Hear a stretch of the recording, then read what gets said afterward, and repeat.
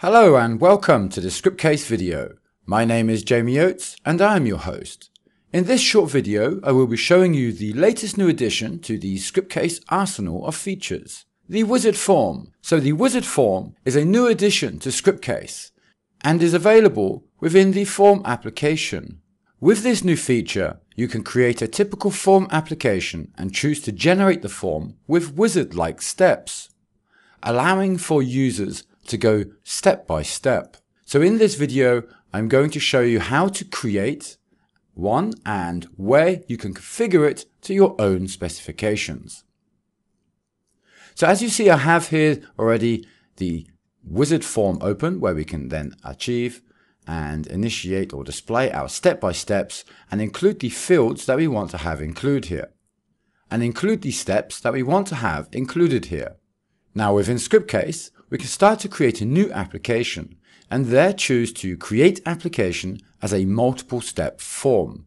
With this option selected, we can then choose how many steps we want the form to be created with. Choosing your table, in this case I would select the customers table, which is part of the samples project available within Scriptcase. Here I choose customers, I will select the create option, and Scriptcase will generate the new form for me with the field options.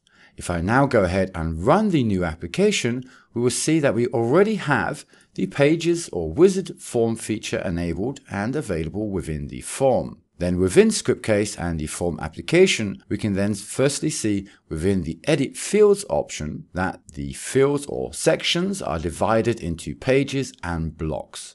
Now, if you already use Scriptcase, then you will know this option will be available within the layout folder and then here pages. And here it also indicates that a new feature has been added. Within this new layout of the pages option, we have firstly the option to choose steps, which was the initial or previous option that we had within the form application. Now, with the steps enabled, pages will be automatically created. And here we can then change the name of the page, the title that will be displayed within our form.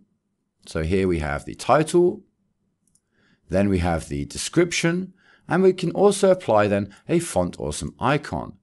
We also have the option to remove any of these and not display that content if we wish so. Adding a font awesome icon, we simply need to click into the field and then we receive the option for the various font awesome icons or we can enter the name of the icon that we want to have applied. Again, we can also remove the icon and not have any icon displayed at all. Below the steps format, we then also have the configuration of the steps, where we can then choose to hide or display buttons, as well as the next and back buttons. We can hide or disable those, the size options for the form, as well as the position of the elements. We then also have the browsing settings where we can configure whether these steps are mandatory, whether they are free browsing, meaning we can just click from one step to another with no inhibition.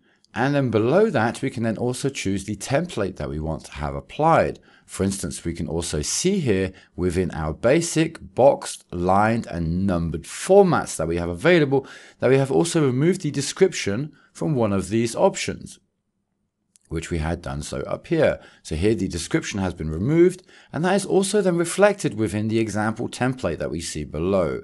So here we can then remove the elements and choose the theme that we want to have applied for our form. Scrolling down further, we can then also adjust the title, the font size, the color of the combined steps, as well as the current step, the next step, the color of the title, the font sizes. So we can adjust each and every element of our new Form Wizard application that we can then generate within Scriptcase. So let's go ahead then and make some further adjustments to our Form Wizard layout. So here I will then add custom descriptions. So within our form, for instance, we have here the customer information. We will then have further information on the next page. So if I enter an ID here, which is then as a mandatory field at the moment. If I go next, we can see then the next page is address. The third page is at the moment the city postal code, and the fourth page is then credit card information. So now we can adjust these containers or descriptions accordingly. So here I will add details, then address, And then here, for instance, I can add area. And on the final title, I will add, say, credit. For the descriptions, I will go ahead and remove each of the descriptions. And for the font awesome icons, we can change these to specific icons that we want to have displayed here. So for address, I'll choose the home icon from font awesome. For the area, let's see if we can choose a globe, for instance. Okay, I didn't pick the Africa one on purpose, but it's a globe. And there we want also a mail icon. Okay, so now we have those customized. I will save that and go ahead and run the form application now with the new form wizard implementation. And we can see now that we have the icon with the new template that we had selected as numbers and then also just the title displayed. Then within the form element, we can then make various adjustments to the location of our fields simply by dragging and dropping them into the correct position where we want them. Or as per usual, we can also use the field positioning option within the left hand menu and make adjustments here on the fields and remove them or again adjust them within the form application. Now for the validation or specific scripts that you may want to run on page one, page two, page three, or page four, or step one, step two, step three, or step four, we have then also the optional macro that we can use for the form wizard. So coming here into the events folder within our form application, and then accessing the event on validate, on failure, on, on validate success, on before insert, on after insert, on before update, on after delete. So each of these options that we have here for the events, even on refresh, for instance, we could then apply a specific macro that has been added by Scriptcase that we can then apply within the form application. And we can see that here. So the new macro is sc get wizard step. So sc underscore get underscore wizard underscore step and then open close brackets. Now with that macro, which you will then also find within our help, so if you access our help and then view the macros page, you will find also the macro and description available there. And then with this, for instance, we can say here on sc get wizard step on page one, and then if empty, the field contact name, which we have available here, contact name, then we will display an error message to please fill in the field.